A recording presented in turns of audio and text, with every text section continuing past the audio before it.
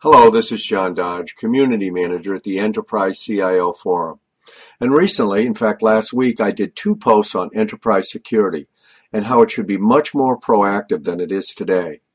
One post was about a survey from the Intelligence and National Security Alliance which says just that, that there should be much more intelligence about security threats. And it made a series of recommendations. In fact, it called informations, it equated them as a virtual uh, attack space where you don't really know where the attacks are coming from because so much is virtual now and it's out in the cloud.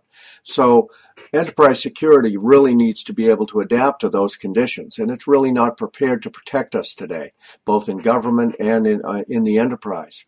The other post I did was uh, re- recapping a four installment uh, series by a blogger named David Lacey, and I thought it was very, very good. And he said the, the perception about enterprise security is that it only meets compliance. It only plays by the rules. In other words, it's so rigid, it really can't anticipate the clever hackers who are out there because they're always going to be one step ahead of the rules. And that we really need to adapt and that we have to stop looking at measuring, uh, uh, measuring the ROI of security because it's impossible to measure. In other words, it's a grudge purchase. We have to buy these products to comply with the laws and the regulations in our various industries. It takes a very uh, interesting view that we have to really think beyond compliance and go directly after the threats head on.